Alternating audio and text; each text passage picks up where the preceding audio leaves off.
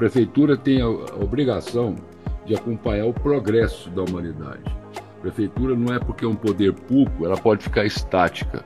Então ela tem que evoluir com a evolução do mundo, inclusive das novas tecnologias, que o mundo hoje são de novas tecnologias. Com essa licitação que o senhor vai homologar que agora a venda dos lotes, nós vamos atingir 46% da área do Polo Tecnológico Sul ocupada em até três anos.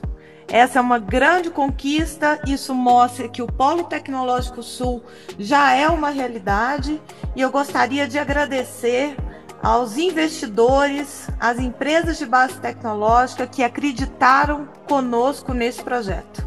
E vamos assinar o ato, prefeito? Vamos assinar.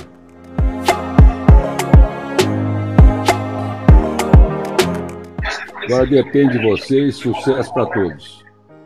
Com certeza, prefeito. Parabéns a todos aí, ao senhor, a Thalita e todos os membros aí que apoiaram isso, viu? Muito obrigado.